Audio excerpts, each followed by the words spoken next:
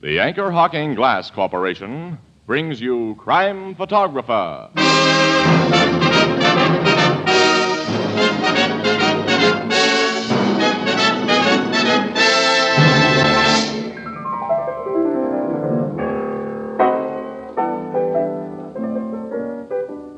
Hello, Ethelbert. What are you reading? Hiya, Casey. I'm just brushing up on the baseball scores. Was that so? I didn't know you were a baseball fan. Oh, sure, I follow the Dodgers every year.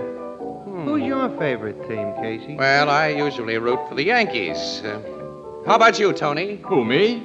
Why, naturally, I root for Anchor Hocking, the most famous name in glass.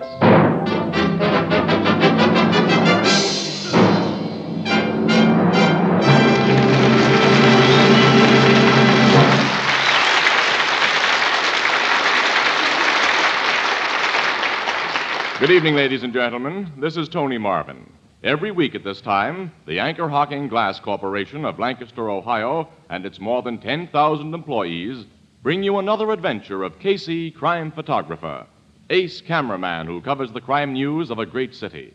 Written by Alonzo Deen Cole, our adventure for tonight The Laughing Killer.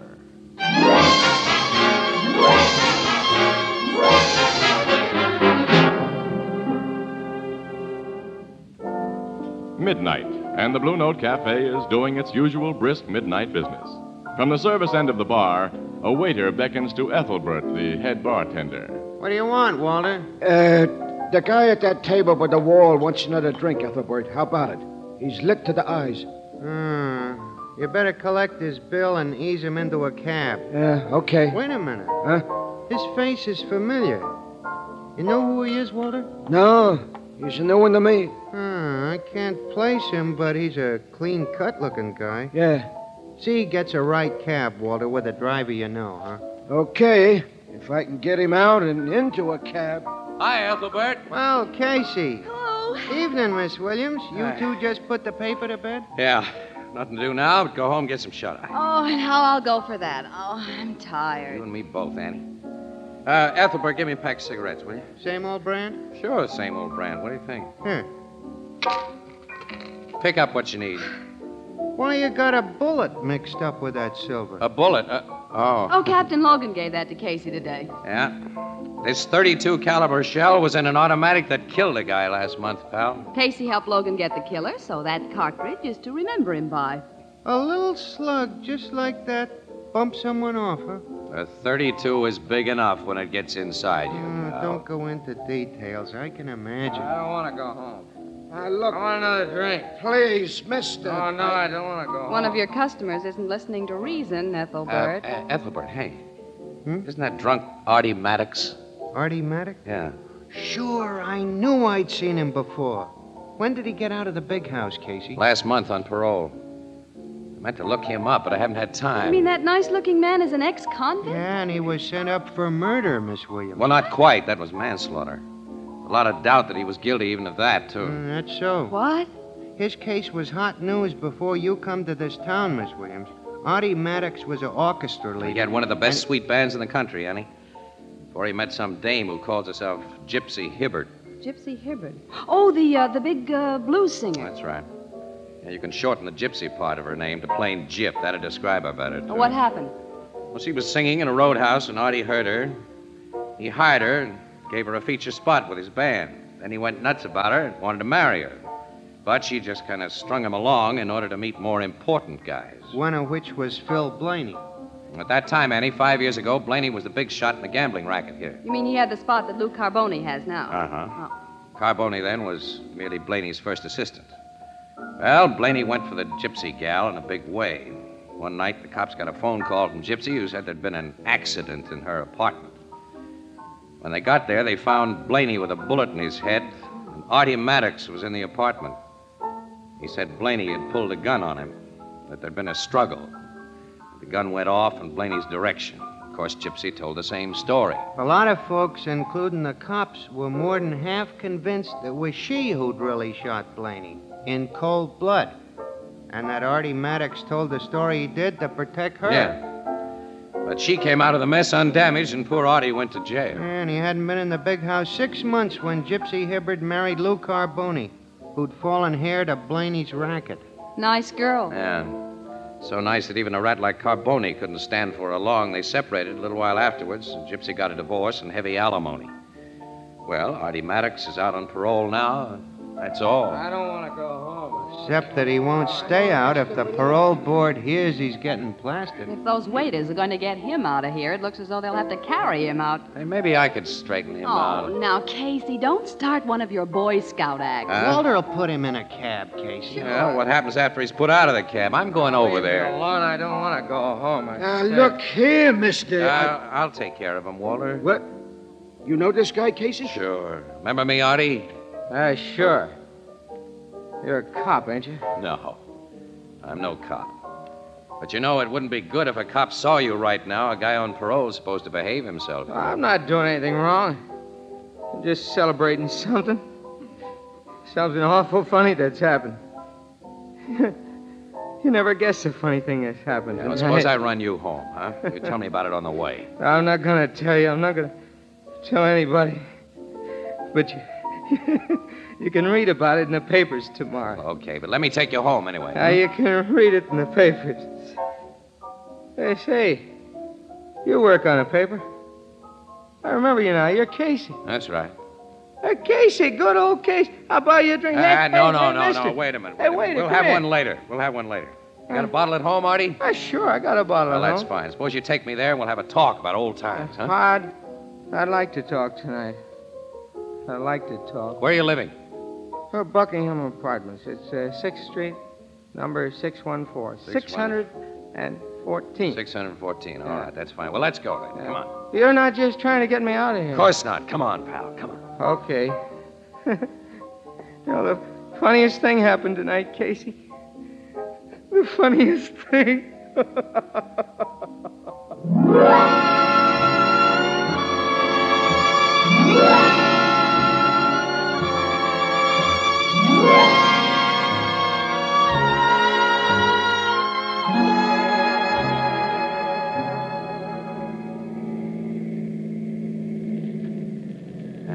here's where he lives, Annie. If I can only get him into his apartment. What did he do? Give you the number before he Yeah, passed? 2B, second floor. All right, here goes. Hey, you're not going to carry him. It's the only way he can be moved. But this is a walk-up place, Casey. The, the Oh, stairs. poor guy isn't heavy. Open the door for me, will you, Annie? Oh, all right, sure. I'd better come along and help you with the apartment door, too. Yeah, if you don't mind, honey. Gee, it's an awful cheap-looking place. Well, guys don't usually come out of prison heavy with dough. Well, I wonder who's... What's he living on? Dixie Trumbull, the songwriter, was always Artie's closest pal. Imagine Dixie's putting him up for. He hasn't been on the chips lately either. Here we are. Here's 2B. You have to go through his pockets and find the key. Yeah, yeah, I'll prop him up right Uh, here. Annie. Funniest thing happened tonight. Hey, snapping out of it, Casey. Funniest thing. Uh-oh. Passed out again. I wonder where he carries his key. Uh, Annie. Huh? Look at this. Automatic pistol. This was in his pocket. This chump's just out of jail on parole. He's toting a gat. Uh-oh. This doesn't look good, Casey. Looks lousy. Hey, Annie. This gun was fired not long ago. Fire. Yeah, smell it. Yeah. Wait a minute. Let's look at the clip. Yeah. One cartridge missing. What do you think? Your guess is as good as mine. Funniest thing happened tonight. Funniest There, I found his key. Here, Annie, unlock the door, will you? Yeah, okay. I'm going to snap this guy out of his daze and ask him a few questions. All right, switch on the lights. Oh, yeah. Uh, here we are. How are you going to make him talk? There, there now. You find some coffee in that kitchenette, will you, Annie, while I hold this guy up? Yeah. Make a pot of triple strength while you're doing it. I'll be ducking this guy in a cold bath. Okay. All right, now, Artie. You come into this bathroom. Get those clothes off you. Uh, funniest thing happened tonight. Yeah. Maybe it won't seem so funny after you hit this cold water.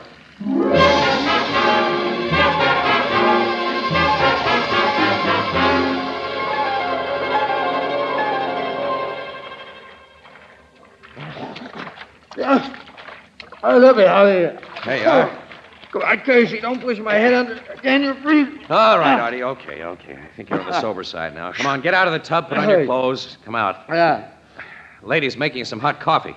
Lady. Yeah, a friend of mine. Oh. I'll leave you alone now. Don't be long. 'Cause I want to have considerable talk with you. Talk. What about? Stay to your health. Get dressed and hurry. Is he okay, Casey? He knows what's going on around him now, anyway. Did he tell you anything? I haven't mentioned the gun. Let's have another look at that thing. Hmm. Foreign make. 29.5 caliber. It's got a pearl grip on it. It looks like a woman's gun. Yeah. Say, it's funny. Phil Blaney was killed with a fancy little gat like this. You mean the man Maddox went to jail for killing? yes. The bullet they took out of his head was a 29.5. I remember because it's an unusual caliber for pistol ammunition. Oh? You see, in this country, we standardize pretty much on 22s, 25s, and 32s. Like the cartridge Logan handed me today 38s and 45s. Yeah, Casey. What? Someone's trying the outside door. Yeah. Who's there? Open up. We're police. Police. Open up, Maddox, or we'll blast our way in. Hey, that's Sergeant Flanagan's voice. It's the last warning, Maddox. Hold Open up. everything, Flanagan. I'll let you in. Casey, what are you doing here? Mind if I ask you the same question? We've come to arrest Maddox for murder, that's all. Murder. Who? Gypsy Hibbard. Gypsy. Yeah. She was killed about two hours ago in her apartment. Now then, where's Maddox? Why do you think Maddox had anything to do with it? He was seen leaving the building she lives in. She was shot with the same kind of gap that killed Blaney five years ago. A 29.5 automatic. Hey, Casey. Let me do the talking, Annie. The only talk I want to hear right now is the answer to where's Maddox? He's here, Flanagan, Where? in the bathroom. There. Uh huh. All right, bring him out, Sam. I'll cover you with my gun. Right, Sarge. Hey, Casey, he killed that woman with a gun. Maybe not, jukebox. Ann. Maybe not. Don't mention that Not gun in the now. bathroom, Sarge. He's gone. What? Hey, that open window. He must have swung under the fire escape and got away. Casey, you're to blame for him getting away. I am. You stalled me here while he was going out that window. I wasn't stalling you. Uh, we'll see what Captain Logan thinks about it. You know, you've got me in a jam, pal. Well, I'll make Logan see you weren't to blame. Where is he? At the late Gypsy Hibbard's apartment, trying to find out just what happened there. Well, let's go. I want to find out what happened at the late Gypsy Hibbard's apartment, too.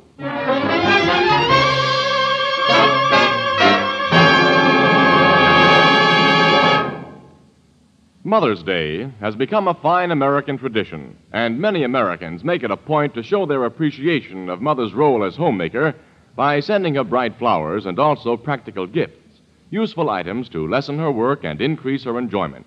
And that's why a complete set of Fire King oven glass is so appropriate.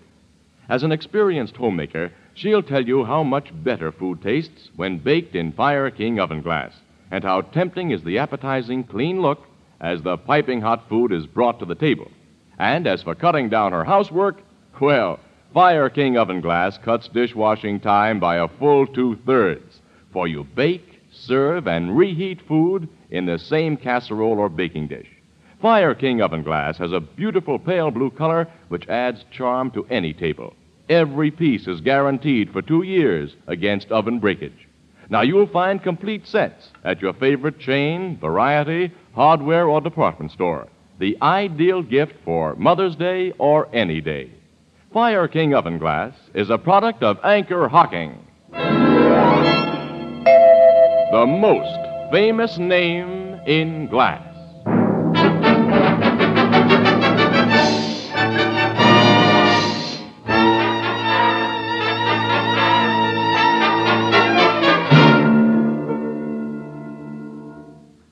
That's why we were in Artie Maddox's apartment, Logan. That's all we know about him. Uh, when you undressed him before you stuck him in a cold tub, Casey, he didn't run across a gun in his clothes. I I wasn't looking for a gun. Casey. Now, suppose you give Ann and me the lowdown on this shooting, pal. Well, a guy called up headquarters. Uh, wouldn't give his name, but he told us to pick up Lou Carboni and ask him why he'd just killed his ex-wife. Ask Lou Carboni why he'd killed Gypsy Hibbert. Yeah. So two of my men went to Carboni's home. They found him playing poker with three guys who said he hadn't left the house all evening. Hmm. At the same time he was being checked, I came here to Gypsy Hibbard's apartment. Got the super to let me in, and Found her lying on the living room floor with a 29.5 slug in her head. And somebody told you they'd seen Artie Maddox leaving the building. Yeah, the superintendent. And checking the time he saw Maddox leave with the medical examiner's finding, the woman must have been shot just a few minutes before. Have you any idea who made that call to headquarters, Captain? Oh, I think Maddox made it.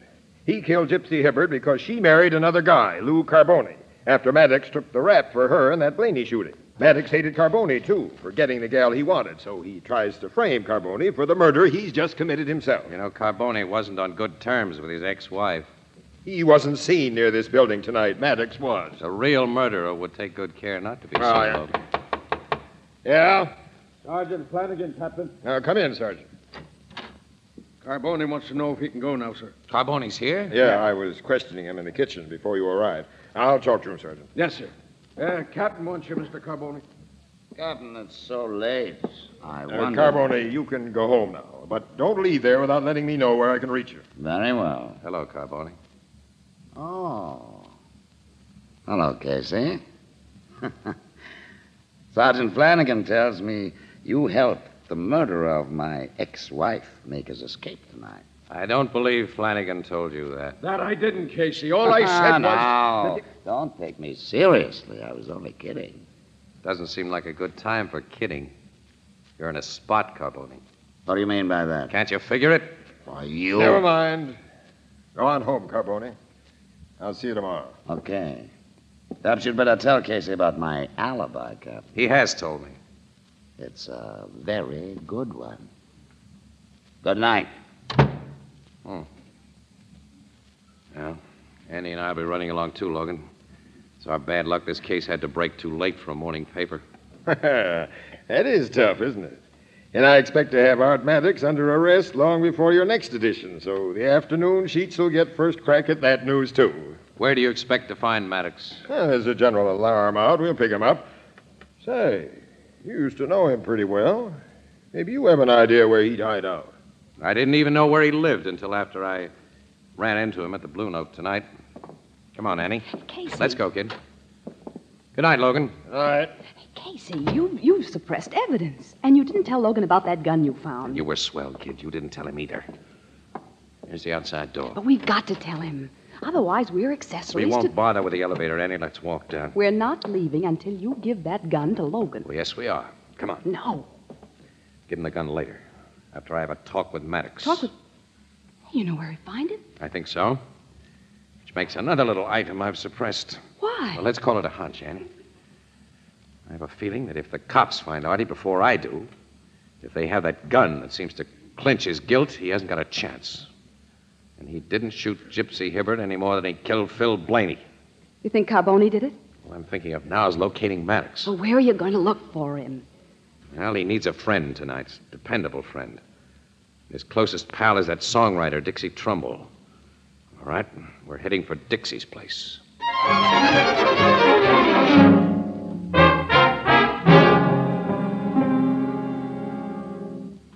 Set eyes on Artie for two, three days, Casey. On the level, he ain't here. Oh, listen, Dixie. Miss Williams and I want to help the guy. He needs help. Don't give me a wrong steer. Well, I don't know what you're talking about, and I got no idea where Artie is. It's okay, Dixie. Hello, Artie. Why, you said not to let anyone know you were here. Casey's my friend. Yes. This should convince you of that, fellow. Oh, the gun. I figured you'd found it on me. And Casey didn't tell the police about it. I'll take the shells out of it. Put it here on this table until you tell me what to do with it. What does the gat mean, Artie? And what's the stuff about cops? I haven't told you, Dixie, because the less you know, the less trouble you'll have. I'll go out and take a walk for half an hour. Please, Dixie. Okay, pal. Guess you've got a good reason for asking. I have. That's all I need to know. See you later. I can't have him mixed up in this case. He's too grand a guy. This apartment of his was the only place I knew of to go after I ducked out that bathroom window. I spent five years in prison. I can't go back there. I heard the cop say he was looking for me. I lost my head. What were you doing at Gypsy Hibbers tonight? You don't think I killed her? I'd have given the cops that gun if I had. And told them to look for you here. Come on, let's have the lowdown. Okay. You know, I was crazy about Gypsy before. Yes, yes, I know. Before. Yeah. Well, after I came out of jail, she wouldn't see me or even talk to me over the phone. Last night, I made up my mind I'd see her. I had to. Then, it was funny. It's the funny part we want to hear about. Well, I, I, I sneaked up to her apartment. A guy in stir showed me how to pick locks, and I, I sat in the dark waiting for her to come home. Finally, the outside door was opened with a key. It was Lou Carboni. Carboni. Yes, he sat down in the next room and waited in the dark. Then the door opened again. It was Gypsy this time. He, he told her why he'd come to kill her. Then I watched him do it. You watched Why him- did Carboni kill her? It was funny, Casey. It was, it was so funny I couldn't raise a hand to stop him. Come on, hold on to yourself, Artie. What did he say Well, to her? she, she had been blackmailing him, you know, threatening to tell the cops it was really Carboni who killed Blaney. Carboni killed Blaney. And I had I had taken the rap because Gypsy told told me she had killed Blaney. She was protecting Carboni then at my expense. Then she married Carboni and they got to hate each other. And tonight he killed her while I was there to, to watch. wasn't it funny, Casey? Wasn't it, wasn't it funny? Come on, Artie, cut it out. What happened after Carboni shot her? Come on, Artie. Pull out of it. Pull out of it. He wiped his fingerprints off the gun. He put it in her hand to look as though she'd committed suicide. But he didn't know. I was watching. Then he let himself out the back way. I realize now it was a crazy thing to do, but I, I picked up the gun. I put it in my pocket. I thought he'd spoil his suicide setup. Then I got out of the place. I phoned the cops to pick him up. Artie, no jury's going to believe the story you've just told us. I know that. But Carboni's not going to be free and alive while I pay for another murder he's committed. What do you mean? I got another gun before I came to Dixie's. You see, I'm going to kill Lou Carboni. Artie, give me that gun. Keep back, Casey. I'm going to kill Carboni today before the cops can find me. Don't be a fool. You've just said no jury will believe my story. Give me that gun. Keep back. You You won't shoot me. Not to kill you. I'll let you have it. He will shoot Casey. Look out. Okay, Eddie. Now, you two get into this clothes closet. I'm sorry, but this is the way it's got to be. It's a foolish way, Artie. It's the only way. No! Let me go. Don't Casey. Give me back that gun. Not a chance. I never figured you for a killer, Artie. You're not going to louse me up by shooting Carboni or anybody else. Thanks. Casey. Drop the gun you just took from him, Casey. Drop it. Carboni. Guess there's nothing else I can do, Carboni. Thanks. Now, all of you move back against that wall. You see, Maddox? Like Casey, I figured you'd hide out with Dixie Trumbull. Why did you come here? That gun I planted beside my late wife's body wasn't found there. And I leave nothing to chance. When your bodies are found, Casey, it'll be thought that Maddox killed you and this lady before committing suicide. Hmm, Same old gag. The gun to be found in Artie's hand. Same as you met that one on the table to be found in Gypsy's. It's always a good gag before a jury. And I'll use the gun on that table, the one that killed my former wife. Then there'll be no doubt that you did all the shooting, Maddox. You? You keep quiet, Artie. He'd better. Sweet little gun, this 29.5 automatic. Huh. Always liked these imported gaps. Well, you take the first slug from it, Casey. What's wrong? That 29.5 isn't loaded, Carboni. The shells are in my pocket. Give 'em to me. You can't hold your other gun and load the automatic, too. You can load it. With its barrel pointed at Miss Williams. If you make a single phony move. All right. I know when I'm licked. Take the gun. Put a shell in its chamber first. Okay. Now load the clip. This suits you. Hold the gun by the barrel and slide the clip in. Now what? Put the gun on the table. Don't get your finger near the trigger. There. Nice little guns. Those 29 fives. Get ready to take it, Casey. Okay. I got you and the lady into this case. You'll get the second slug, Maddox. Then Miss Williams. Well, Casey? So long. Oh, With that shell, Carboni, so long to you. Gee, the gun blew up. Yes, it exploded right in his face. right in his face. Wasn't it funny? Huh. Wasn't it funny?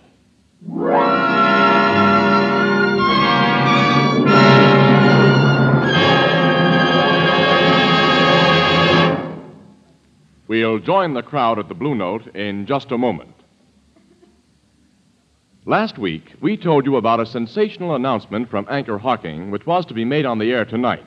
However, we're obliged to postpone this exciting announcement until next Thursday, so be sure to tune in Crime Photographer one week from tonight. Now, meanwhile, surveys show that a vast majority of women prefer to buy foods packed in crystal clear glass. They give dozens of different reasons, but practically all say they prefer glass because it lets them see exactly what they buy before they buy it. Of the hundreds of young mothers questioned about baby food containers, eight out of nine say they not only prefer, but insist on prepared baby foods packed in glass. And their most important reasons are that glass is cleaner and more sanitary, and that leftovers can be resealed and safely stored in the original container. Now, you too can enjoy these advantages in buying foods. Simply demand foods packed in glass, in Anchor glass containers, sealed by tamper proof Anchor vacuum caps. Both products of Anchor Hocking. The most famous name in glass.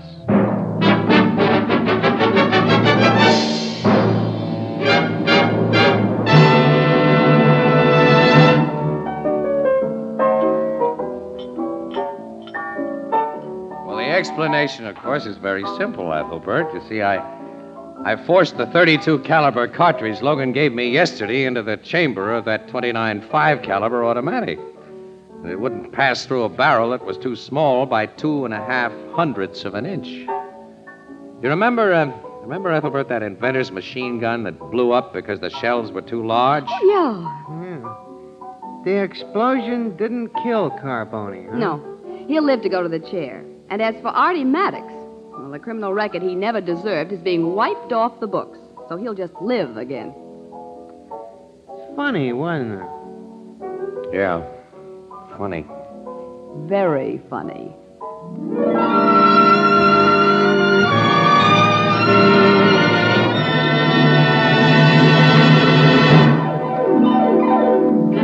Crime Photographer, starring Staats Cotsworth as Casey, is brought to you each Thursday by the Anchor Hocking Glass Corporation, makers of Fire King Oven Glass. Anchor glass containers, Anchor caps and closures. All products of Anchor Hocking, the most famous name in glass.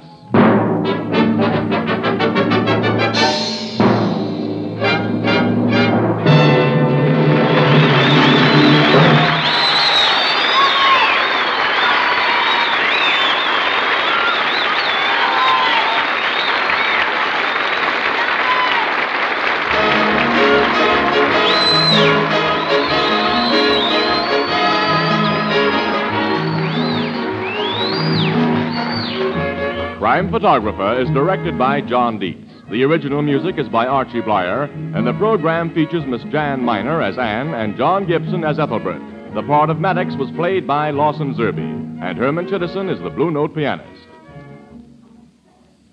If you're under 35 and are a high school graduate, you may be able to qualify for a nursing career. As the need for nurses is urgent, check with your local hospital on how to apply for training.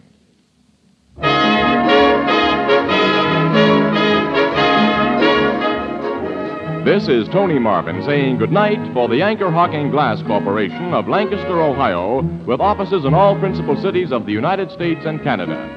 Thursday night on CBS is the biggest show in town, so stay tuned for exciting dramatizations on Reader's Digest Radio Edition, which follows immediately over most of these stations. This is CBS, the Columbia Broadcasting System.